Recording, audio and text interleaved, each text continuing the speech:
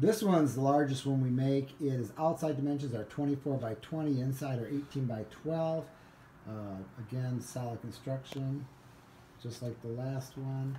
The this one is 299. Uh, the smaller ones are 249.